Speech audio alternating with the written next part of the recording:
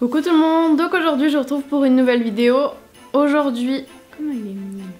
Aujourd'hui nous sommes le 16 décembre et aujourd'hui je vais vous parler de ma première prise de poste. Il faut savoir du coup que j'ai été diplômée infirmière en juillet 2019. Euh, j'ai choisi ensuite de profiter de mes vacances de ne pas travailler parce que je savais que je rentrais en formation euh, d'infirmière puéricultrice en septembre et du coup je me suis dit je profite. Clairement je profite de mes vacances parce que ça va être une année dure, une année bien chargée et voilà.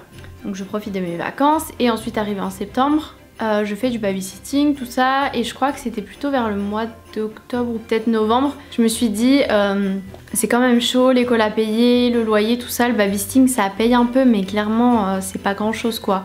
Donc du coup je me suis dit, vas-y, je postule sur différents hôpitaux, et j'ai postulé sur un site qui s'appelle les maisons de retraite, et en gros ça regroupe un peu toutes les maisons de retraite, et vous pouvez déposer votre CV dessus. Donc moi c'est ce que j'ai fait. J'ai été rappelée par plusieurs maisons de retraite, dont une euh, qui me proposait euh, de commencer par une vacation dimanche ou un samedi, je sais plus, bref, je crois que c'était un dimanche, c'était bien payé.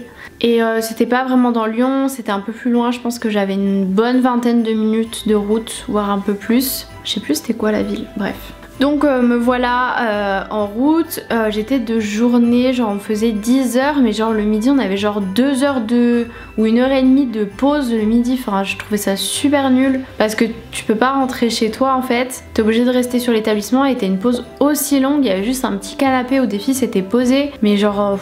moi j'étais allée un petit coup me poser dehors mais bon il faisait pas très très beau, il faisait pas chaud, on était en novembre. Donc je trouvais ça long mais j'ai même pas commencé par le début de la journée. Bref, début de la journée, j'arrive, euh, je suis avec une infirmière qui me dit donc voilà, ça c'est ton chariot et en fait on a une fiche toute imprimée avec tous les résidents, tous les soins que t'as à faire par heure en fait. Tout est listé avec les chambres et tout, t'avais plusieurs ailes, il y avait quatre ailes et donc en gros on était euh, départagés en deux. Donc déjà moi j'arrivais pas à trouver les chambres, je me trompais de trucs, enfin bref. Les soins en soi étaient pas compliqués, hein. j'ai pas eu du tout de problème euh, par rapport à ça malgré que ce soit ma première prise de poste, euh, c'était rien de compliqué en EHPAD. Mais en fait, euh, bah, le matin, les premiers soins ça va parce que tous les résidents sont dans leur chambre pour les médicaments, tout ça. Et après arrive le repas de midi où déjà bah, ils sont tous euh, dans la même salle. Donc j'étais tout le temps en train de demander à l'étoignante c'est bien madame machin, machin, c'est bien monsieur machin? Puis il en a qui disaient bah ouais, genre moi j'étais là, bon ok, très bien. je ne les connais pas, j'ai un espèce de comment on appelle ça J'ai perdu le mot. Un trombinoscope, voilà, avec des photos, sauf que les photos, elles datent de ouf, genre de leur entrée. Il y en a, ils sont là depuis des années, donc vous, doutez bien qu'ils ont changé. Et euh, les personnes âgées, elles sont un peu démentes, donc vous pouvez pas vraiment leur dire est-ce que vous êtes monsieur ou madame machin, parce qu'ils vont dire oui, oui ou non. Bref, et je pouvais pas demander à tout le monde, enfin, genre, c'était trop chiant. Mais bon, j'ai réussi. Euh, voilà, quand j'avais des questions, l'autre infirmière était super gentille, elle m'a vraiment bien bien expliqué. Euh, elle avait un téléphone avec elle, j'en avais un avec moi. Si j'avais une question, je lui demandais sans souci, mais bon, j'allais pas lui demander euh, pour chacun des patients qui est qui parce qu'elle n'était pas du tout dans mon aile, donc elle est. On était vraiment à l'autre bout euh, de l'établissement l'une de l'autre. Ensuite arrive la pause de midi, donc comme je vous dis, on avait une pause longue. L'autre infirmière habitait pas très loin. Et du coup elle est rentrée chez elle. Normalement je crois qu'elle avait pas le droit. Mais elle a dit euh, enfin je suis sur ma pause, je rentre chez moi. Bref, je sais pas si c'était. Enfin j'ai pas lu le règlement d'établissement donc je peux pas vous dire si elle avait le droit. Mais bref, elle est rentrée chez elle. Donc du coup j'étais la seule infirmière et euh, j'étais en train de manger. Et euh, là il y a une, une aide-soignante qui vient vers moi qui me dit je crois que la dame elle va pas bien. J'ai commencé, elle va pas bien, elle me dit bah elle me répond plus, tout ça. Elle avait pas pris son pouls, rien, enfin... Elle me dit juste, euh, elle me répond pas, elle me dit je crois qu'elle dort beaucoup genre je sais plus comment elle avait dit la phrase mais bref.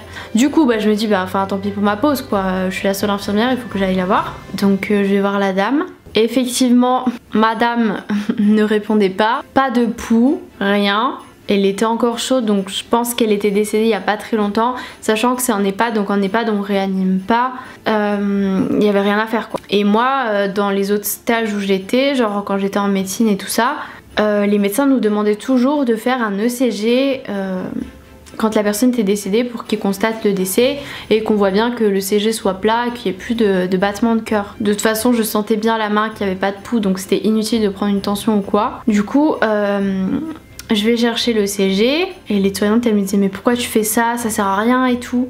Moi j'étais là, euh, frère, je suis pas médecin, en fait je peux pas constater un décès comme ça quoi. Donc moi je m'étais dit comme ça quand le médecin il arrive, euh, il voit le CG, euh, tracé plat, voilà quoi.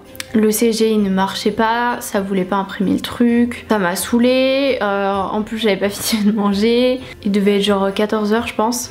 Ma collègue elle était pas là parce que oui, du coup la patiente c'était pas dans mon, aile. Donc moi je la connaissais absolument pas. Bon les autres je les connaissais pas plus que ça. Mais là je la connaissais encore moins quoi. Je savais même pas comment elle s'appelait. Et euh, bah bref impossible de faire le CG et là c'est pas euh, donc je, je sais plus ce que j'allais chercher. Bref je voulais trouver je crois le numéro du médecin ou quoi. Parce qu'il n'y a pas de médecin sur place le week-end ni euh, les autres jours d'ailleurs et du coup je me suis dit bah de toute façon elle est décédée en fait euh, faut que j'attende que ma collègue arrive. Je sais pas du tout c'est quoi la procédure j'en ai aucune idée. Euh, j'ai essayé de chercher dans les classeurs et tout euh, trouver un truc j'ai pas trouvé. Je retourne vers la chambre l'étoilante qui me dit ah bah il y a sa famille qui est arrivée ils sont en train de lui rendre visite. J'étais là genre mais elle est morte? La famille est rentrée dans la chambre? Bref j'arrive. Je pense que c'était la fille de la patiente qui me dit euh, Oh maman elle est pas très réveillable aujourd'hui, elle dort et tout et moi j'étais là mm Moi j'étais trop mal parce que bah pareil dans tous mes autres stages et à l'école on me dit toujours c'est le médecin qui annonce le décès et qui le constate. Genre là j'avais aucune preuve, mis à part que je sentais pas de pouls et tout, j'avais pas de preuve médicale qu'elle était vraiment décédée et je me dis imagine tu dis elle est décédée en fait genre euh, elle est pas vraiment décédée. Genre j'étais trop mal, je savais pas où mettre, je savais pas quoi dire. Et bref, la famille qui me dit euh, bon bah non on va devoir bientôt partir et tout et j'étais là genre qu'est-ce que je fais? Et l'étudiante elle me dit mais dis-leur, dis-leur qu'elle est décédée et tout. Moi j'étais là mais c'est pas mon rôle en fait, genre c'est le rôle du médecin.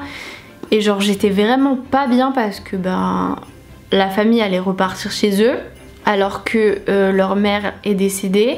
Ils ne s'en sont même pas rendus compte. J'ai pas de médecin là, ma collègue elle est pas là, je sais pas quoi faire. Les soignantes elles m'aident absolument pas. Euh, j'ai l'impression que tout ce que je fais, genre elles me disent mais non c'est pas comme ça qu'il faut faire, t'aurais dû leur dire, le CG ça sert à rien, nanana. Bah peut-être que c'est vos habitudes, mais genre moi j'ai pas du tout appris euh, comme ça parce que à l'hôpital c'est pas comme ça qu'on fait.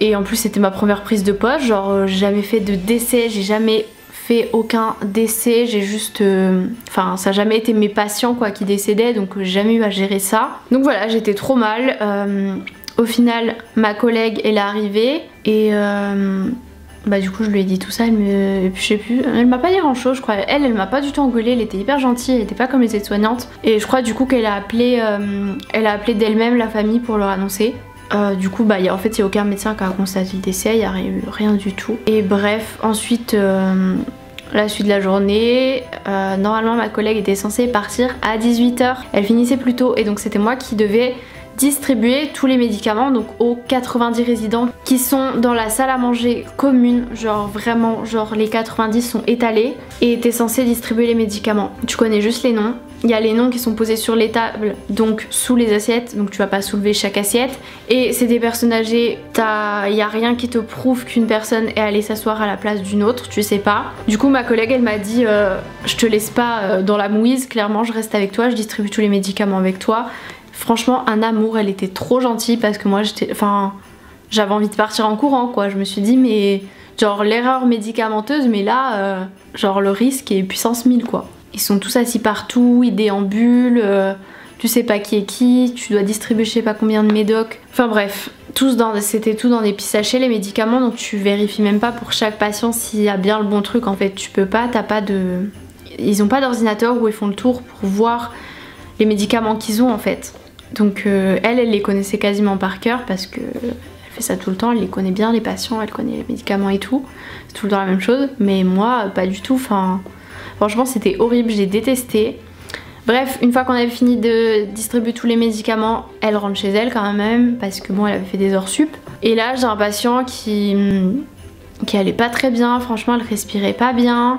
Donc euh, j'avais une petite pince à SAT là, je lui prends sa SAT, genre elle était peut-être à 75.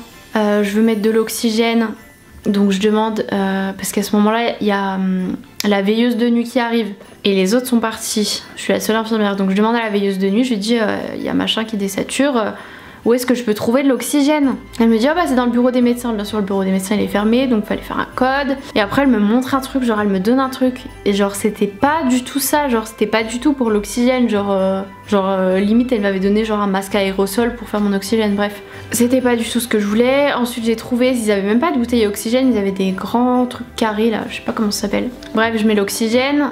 Euh, ensuite à cette heure-ci je crois qu'il fallait appeler le, le 15 parce que le médecin euh, était plus là.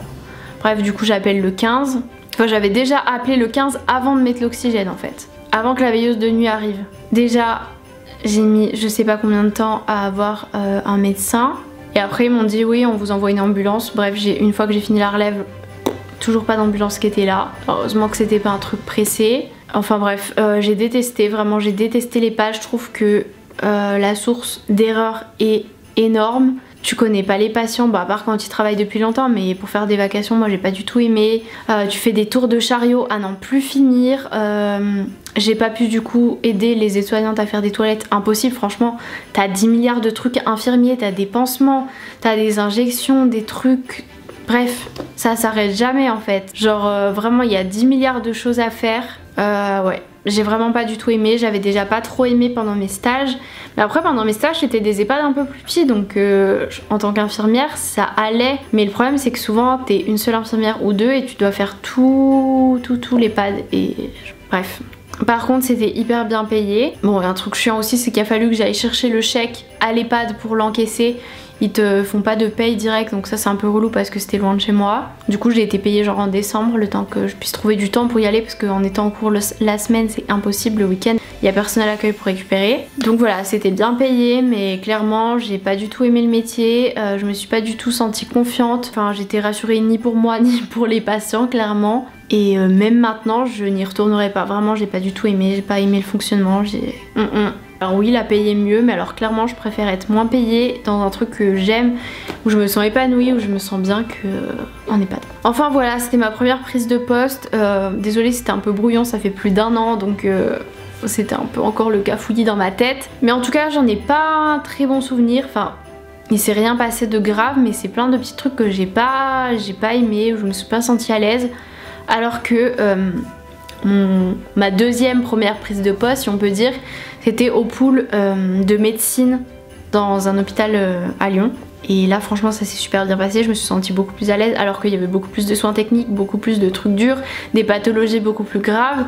Mais c'était vraiment beaucoup plus mon truc que les pads quoi. Les pads, euh, mm, mm. pas pour moi, voilà. si vous sentez bien là-bas, très bien, mais moi c'est vraiment pas mon truc. Pour rien au monde, je n'y retournerai clairement préfère changer de taf je crois. Donc voilà j'espère que cette vidéo vous aura plu. Euh, n'hésitez pas à me partager vous vos premières prises de poste dans les commentaires. Je vous fais de très gros bisous et je vous dis à demain pour une prochaine vidéo.